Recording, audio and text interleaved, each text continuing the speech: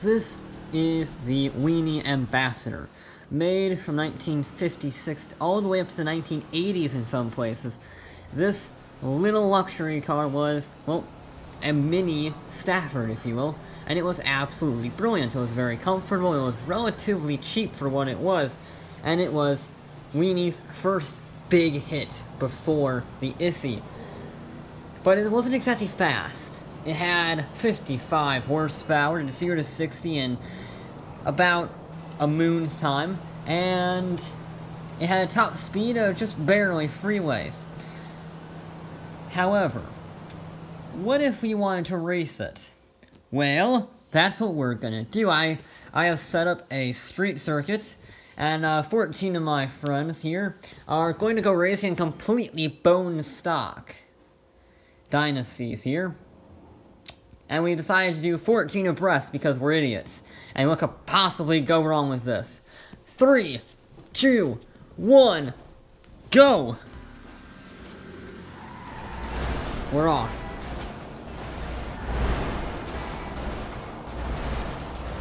Uh, some good reaction time. I think I'm in fourth, maybe fifth. Who knows? Uh oh, that's bad. That's bad. Uh oh. Uh that's a. God damn it! You guys, you guys can't even drive in a straight line. Okay. Um. I mean, this is the first lap out of five on the first corner, so um, we do have quite a bit of time to. I mean, that helps with my recovery, I guess. You know, wall climbing. That's fine. You know, I I, I need a recovery drive and a half here, so uh. Here we go. Let's do this.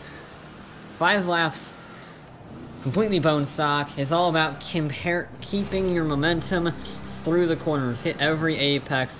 Don't lose momentum. Momentum is critical. Now I do have a slipstream feature, as well as a catch-up feature for the fastest cars in the lead. Just a... Whoa! I almost actually killed that guy in the brown car. Um, just to try and catch up to the uh, pack a little faster. So here we go. That's just no, understeer, understeer. Oh, okay, that's understeer. That's some. It doesn't have oversteer because it's not going fast enough. But it does. What what is he doing up there? Huh. I don't think that's the fastest way through the corner. But it does help me catch up, but I, I will never complain about that. Oh, God, we're going too wide. Oh, God, we're going to be wide. Uh, I'm here, I'm here, I'm outside, I'm outside. Okay, we're good. That's a wall and a car, what's left between them. Gonna hold it on the inside, maybe we might get a faster on the exit. Indeed, he does. No, damn it, I'm losing all of my places I've got back up to. Uh, uh, brakes, brakes, turn. There we go. That's a very nasty double apex corner. Don't run into the back of him. Oh, there's been an accident. Uh. Oh crap, oh crap, dodge, dodge and weave, dodge and weave, dodge and weave, hey, that's the gap, uh. okay. We're good. That was sketchy. well, I just made about eight places there, probably.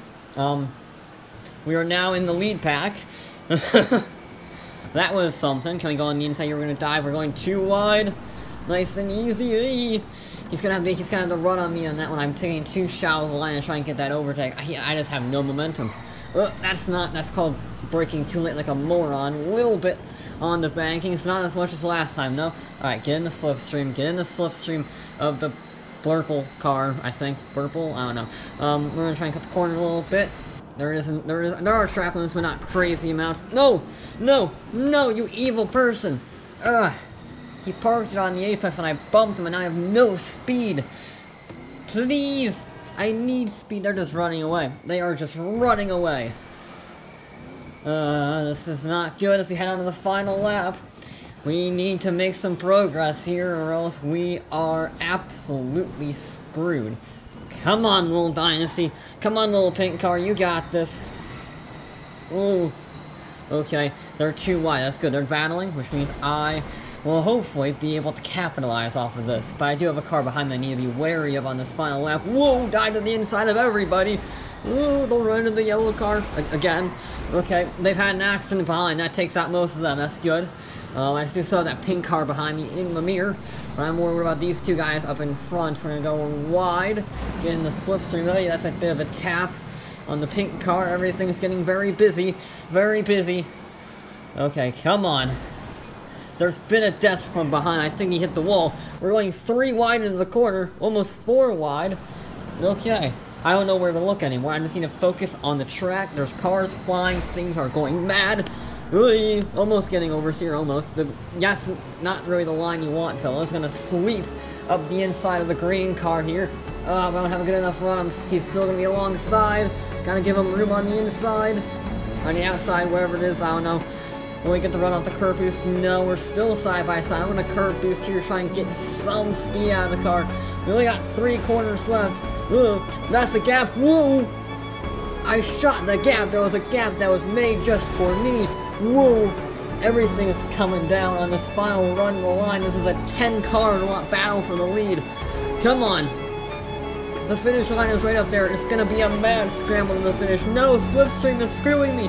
Come on, come on. I need to get going. No, no, this is bad. This is bad. Slipstream is bad. Oh, they're crashing into each other. Oh, they're crashing into each other.